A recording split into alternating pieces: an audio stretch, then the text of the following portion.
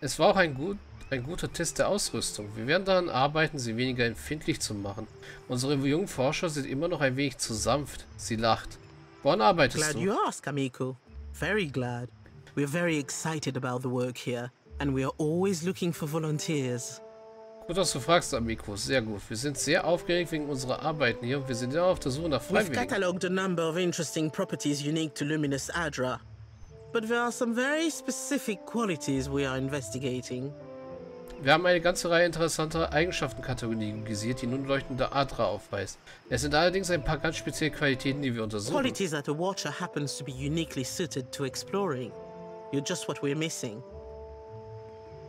Es sind Qualitäten, zu deren Erkundung ein Wächter auf geradezu einzigartige Weise geeignet ist. Du bist genau das, was uns gefehlt hat.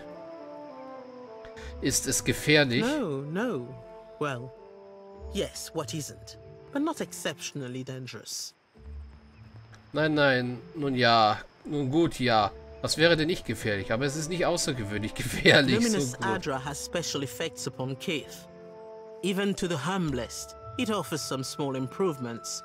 Rejuvenation, vitality, the kind of thing you sell to people back home, ne? Auf gestandene gibt leuchtende Adra ein ganz, eine ganz besondere Wirkung aus. Selbst dem bescheidensten unter ihnen bietet sie kleine Verbesserungen. Verjüngung, Vitalität, das ist genau die Art von Dingen, die zu Hause für teures Geld verkauft werden, richtig? But what about those who have already harnessed their own essence? Consider the talented Cutpurse, for instance, who can cross a room by slipping briefly into another place. The world between. Aber was ist mit denen, die ihre eigene Essenz bereits genutzt haben? Denke doch zum Beispiel nur einmal an den talentierten Taschendieb, der es gelingt, einen Raum zu durchqueren, indem er vorübergehend an einen anderen Ort schlüpft. Die Zwischenwelt. Luminous Adra holds enormous quantities of essence, the kind of energy we can't replicate or restore. And these formations have a kind of connection to each other across the in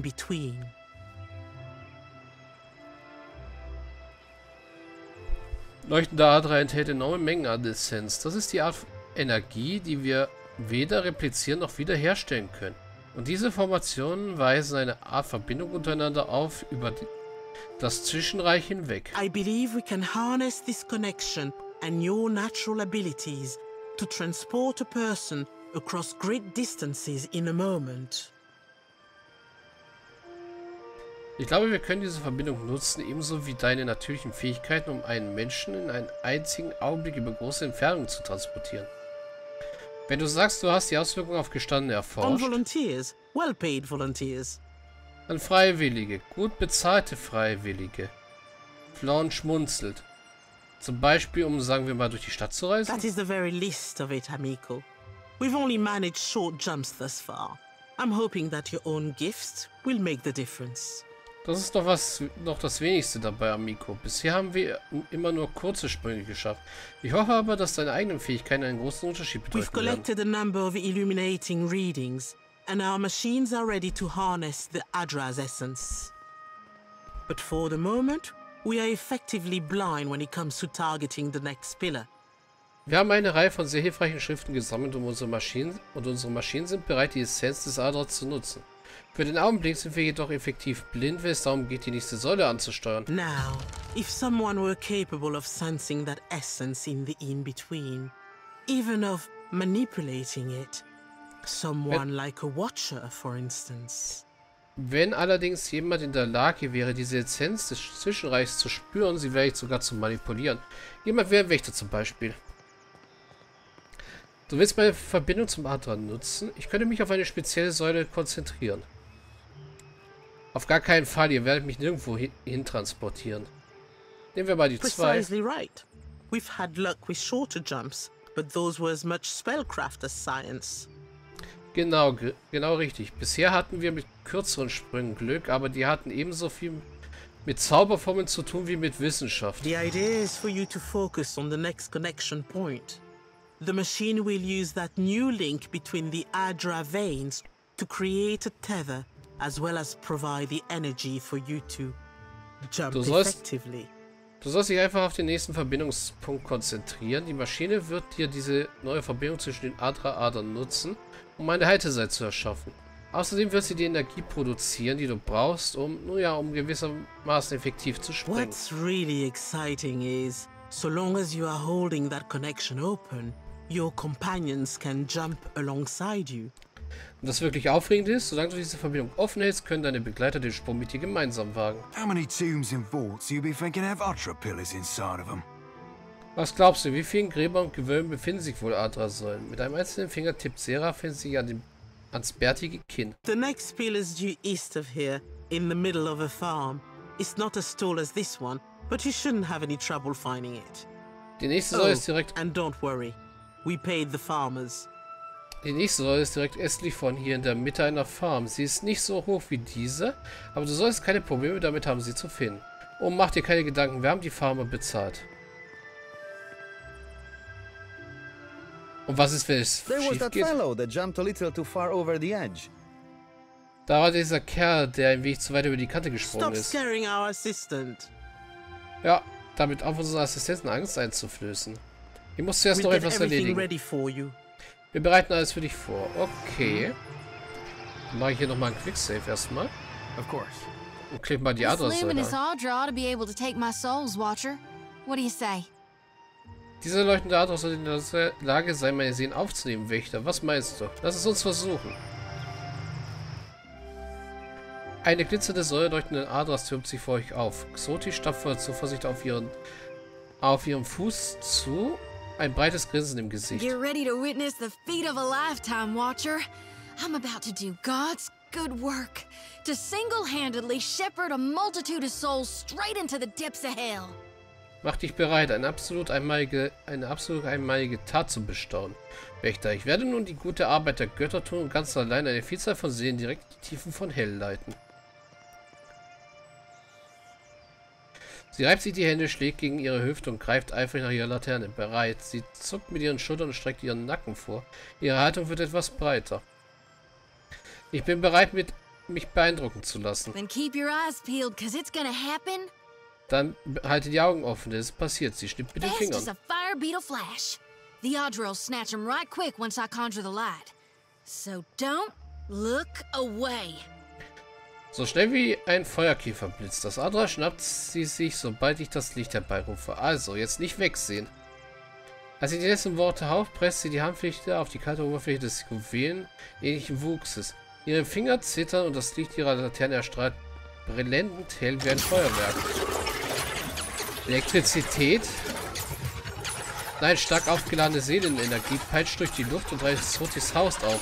Sie läuft durch tausende sich verzeihende Venen und Kapillaren und lässt Soti vom Gesicht bis zum Hals zu den Armen und darunter bluten. Ihr Sch- Schrei ist Z- wie ein zweiter Donnerschlag am Himmel. Ich verbreche die Verbindung. Du, du greifst nach Sotis Schulter, um sie von den Adern wegzuziehen, aber als du sie berührst, durchfährt dich ein Energieblitz und steuert dich mehrere Meter weg. Du prallst mit krachender Rüstung, verbogenen Gliedern Schmerzen auf. Soti zittert und schreit lauter. Lass die Sehnsucht was frei. I'm. Ich schwöre bei den Göttern, ich versuche es. Sie presst die Worte zwischen zusammengebissenen Zähnen hervor. Ihr Körper zu und verkrampft sich, doch sie lässt den Adler nicht los, der ihre Handfläche verbrennt. Die Laterne zittert so heftig, dass sie beinahe zerspringt, doch dann entströmt ihr eine gewaltige Welle purpurner Essenz. Sie wirbelt rund um den Adler und an ihm empor und kracht gegen die glitzernde Oberfläche, bevor sie schließlich ins Innere eingesaugt wird. Der Adler pulsiert heller, dann dunkler und dann noch heller, blendend hell. Ein Heulen, dann zersplittert der Adler und ein gezackter Splitter fällt auf den Boden. Son of a god's darn motherless cur. That hurt worse than a back-to-back whooping from Uncle Angbert's quarterstaff. Ihr scheint's gut genug zu gehen, dass sie noch fluchen kann. Sohn einer gottverdammten mutterlosen Töle. Das hat mehr wehgetan als eine Tracht Prügel aus mit Onkel Angerbalds Kampfstab.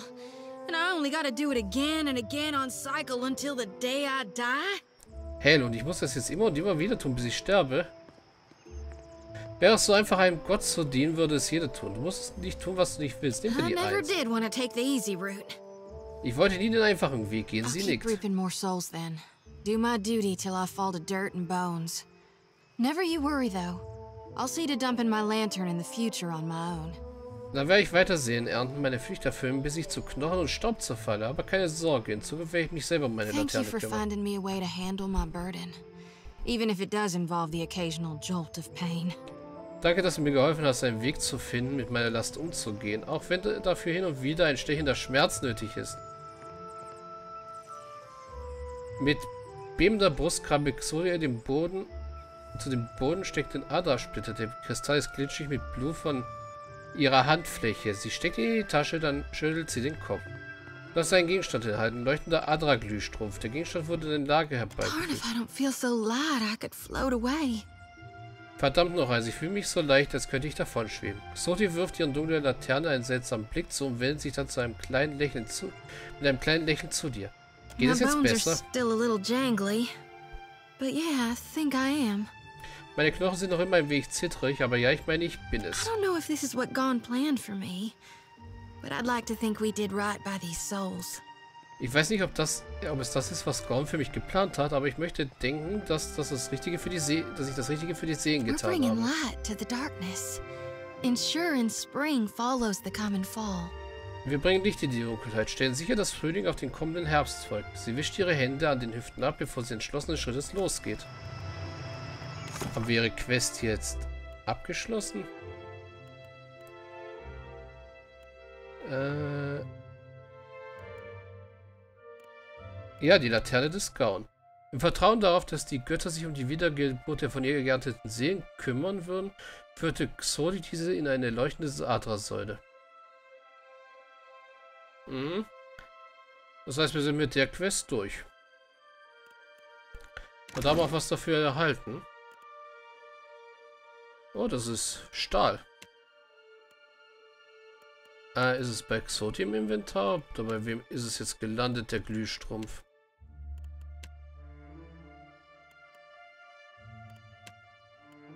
Ah, da. Dieser kleine Spinner leuchtenden Adras glüht mit Sehnenenergie. Er wurde offensichtlich aus seinem größten Stück herausgebrochen, aber es sieht aus, als wäre er für einen bestimmten Zweck gefertigt worden. Vielleicht könnte er zur Verbesserung von Xotis Laterne eingesetzt werden. So you're saying you're literally a pirate of the mind? You sail in and steal people's thoughts? Behold, lass, I'm the original psychic piratical. Not hardly. Even I've heard about Malnage. She's a cipher like you, ain't she? Only older. Ugh, Had to dredge up my cruel rival. You should know her arsehole itches when mention being made of her. What a nasty hex. Tell me you weren't the one that put it on her. Darn, I hope that doesn't make her itch. Hell, or that. Now I'm just making it worse. I best shut my mouth before I cause more damage. I like your style, kid. Mhm. Xodi und Seraphim halten interessante Gespräche. Also du sagst, dass du wörtwörtlich ein Pirat des Verstandes bist? Du segelst vorbei und klaust den Leuten ihre Gedanken? Sieh und staune, Mädel, ich bin der allererste Piratenhellseher. Nicht wirklich, selbst ich habe von Malnash gehört. Sie ist ein Medium wie du, bloß älter. Musstest du meine grausame Rivalin ans Licht holen? Du solltest wissen, dass ihr Arschloch jedes Mal juckt, wenn ihr Name fällt. Das ist aber ein gemeiner Fluch. Sag mir bitte, dass du nicht der warst, der sie damit belegt hat. Verdammt, ich hoffe, das brachte ihr keinen Juckreiz. Ach zur Hölle. Oder das? Jetzt mache ich die Sache nur noch schlimmer. Ich sollte besser den Rand halten, bevor ich noch mehr Schaden anrichte. Äh, mir gefällt dein Stil, Kleiner. Oder Kleine. Äh, die lassen wir mal kurz in Ruhe. Ich will jetzt erst einmal den Gaun, äh, nicht den Gaun, den Bera-Tempel noch besuchen. Auch wenn ich schon wieder am Ende meiner Aufnahmezeit bin. Ne, wir gehen jetzt, glaube ich, hier aus dem Besela-Teil raus und dann mache ich meinen Cut, sonst wird die Aufnahmesession mal wieder zu lang. Weil ich will erst den Bera-Tempel besuchen und dann kann ich mich von mir aus ja auf die Farm sippen lassen. Ich wollte mal das Umland erkunden.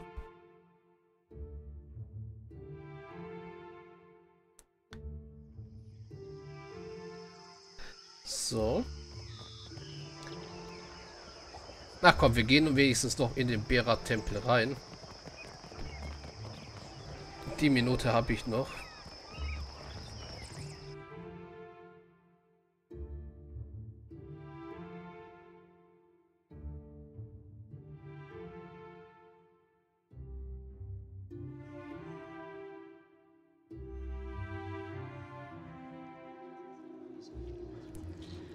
Ja, der Tempel von Berat. Hier liegen die Toten.